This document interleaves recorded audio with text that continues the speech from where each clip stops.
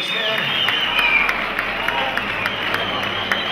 Bueno, eta bukatzeko, ezin izan taldearen bertxe bat eta Youth Brigadearen beste bat. Eta hori, mila esker gurekin egotagatik.